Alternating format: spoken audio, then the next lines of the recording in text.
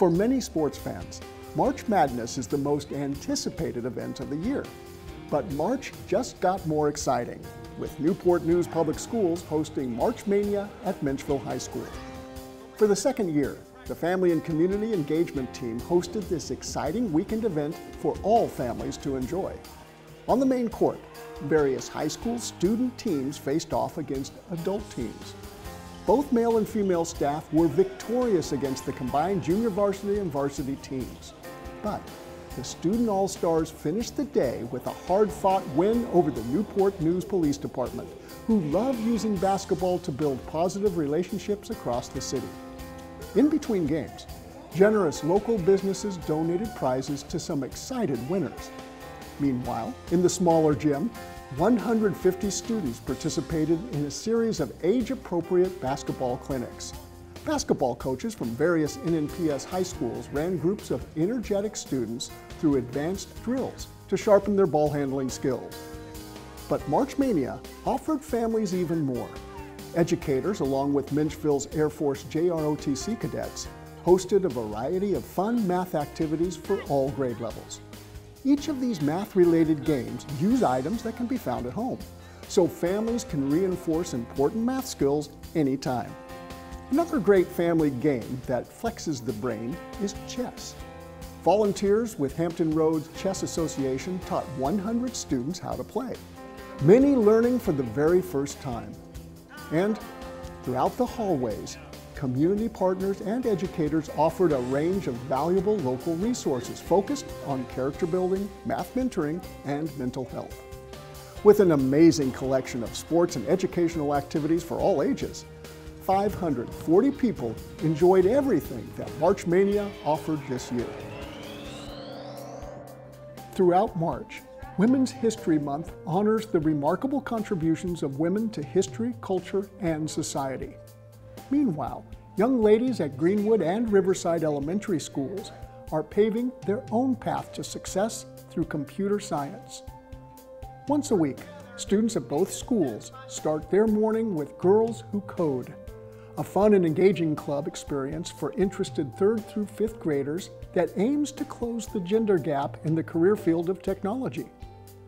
Teachers and instructional technology coaches set up hands-on activities and fun challenges to introduce the young ladies to coding and programming languages. Through these experiences, the girls learn how to problem solve, think creatively, collaborate with others, build confidence by sharing their ideas, and grow as strong leaders. By participating in Girls Who Code, the hope is that many of these young ladies will pursue future careers in STEM fields. But before that day comes, Girls Who Code will help them now as they create strong bonds through sisterhood, learn the basis of computer coding, and make a positive impact on their community and the world. Middle school volleyball wrapped up its 14th season with four different schools represented at the girls and boys tournaments hosted at Warwick High School. In eight of the last nine seasons, Ella Fitzgerald and Gildersleeve have met in the girls' championship game. And one of these teams has been in every tournament over the past 14 seasons. So it was no surprise to see these teams vying for the championship crown again this year. But after settling for runner-up the last four seasons, the Gildersleeve Seahawks won this year's Girls Championship. This was the second year coaching at Gildersleeve for Coach Juan Puentes, who also teaches and coaches at Menchville High. Better known as Coach Lowe to his players, he attributed the team's success to strong serves and crisp passes on offense. Gildersleeve and Ella Fitzgerald are now tied with six volleyball championships each, setting up a dramatic 2025 season. On the boys' court, Crittenden faced off against Washington.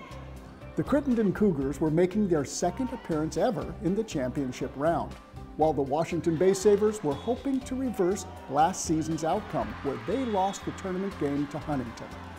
Washington's young team won the first set, but Crittenden fought back, forcing a third set. Ultimately, the Washington Bay Sabres prevailed as citywide champions. For adapted physical education specialist Coach Susan McAuliffe, this was her third season coaching at Washington.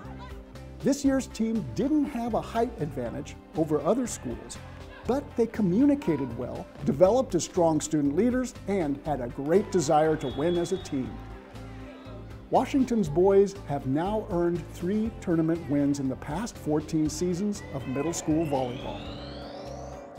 Fourth graders from Discovery STEM Academy and Newsome Park Elementary visited the Mariners Museum for an exciting trip back in time.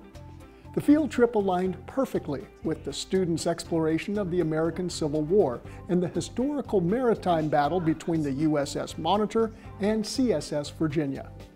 The Mariners Museum hosted an Ironclad Marvels field experience, specifically for the students enrolled in each school's STEM-themed magnet programs.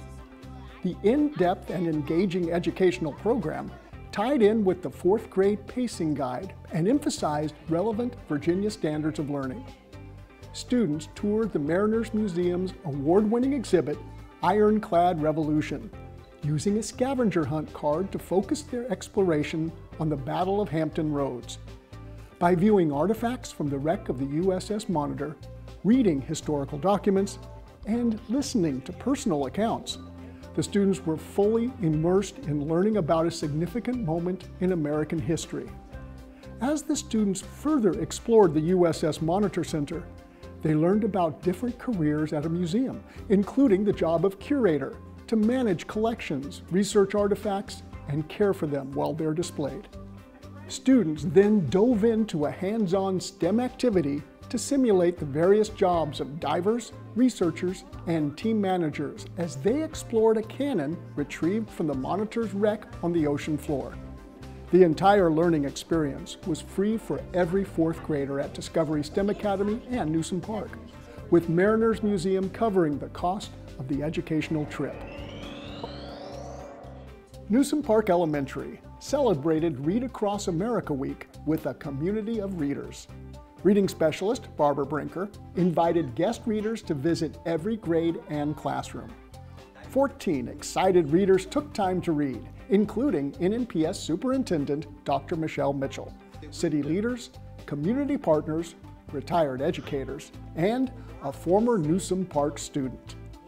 Beyond reading grade relevant literature, these special guests also shared a little bit about how reading is important in their careers, what they enjoy about reading, and what some of their favorite books are.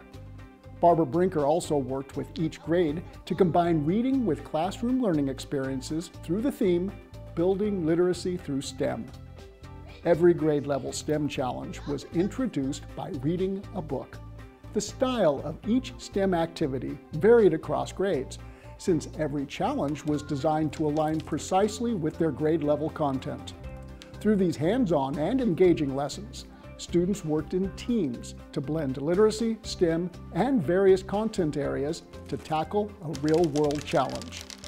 By showing students the benefits of becoming a lifelong reader and expanding their scope of how much we can learn from reading, Read Across America Week was an important step to help the Newsome Park Navigators find their own love of reading.